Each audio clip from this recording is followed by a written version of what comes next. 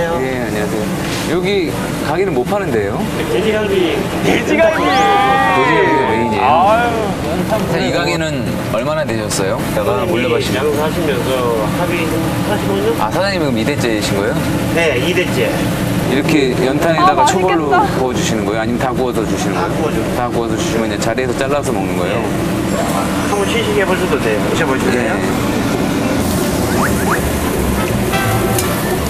완전 입에서 녹죠 그냥 뭐. 맛있죠? 맛집이네요. 네. 사장님, 다니시면 돼요? 네. 자리 있나? 바로.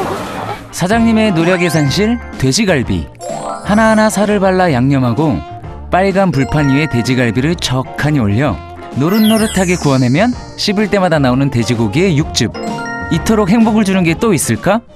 기사 식당 가면 그 불고기 정식이랑 좀 느낌 비슷한 것 같아요. 뭐 이렇게 국이랑 고기랑 이렇게 딱 먹을 수 있는 몇 가지 반찬만 딱 해서 차려지는 게 난 먹기 직전 이 순간이 가장 설레는 기분이야 야, 진짜 맛있겠다, 저지.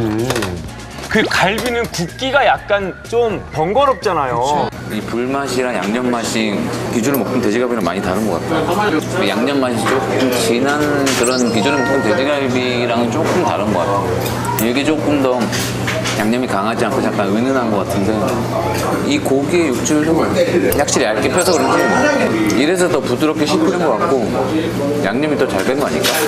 되게 부드러운 것 같은데? 확실히 고기는 이 굽는 스킬에 따라서 맛이 좀 좌지우지 하는데 이 사장님이 안 타게 적당히 진짜 맛있게 잘 구워주시는 것 같아요. 이런 부분이 맛있는 건 아니야? 아 맞아. 저거 맛있어. 저거. 맛있는데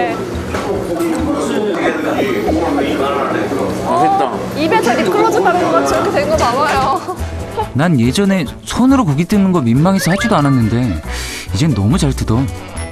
파김치랑도 먹어볼까? 파김치도 맛있더라고요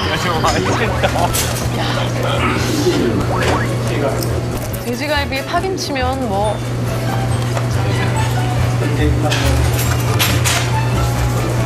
확실히 싸먹는 게 더 맛있다. 파김치랑 먹으니까 손맛이 개운하네.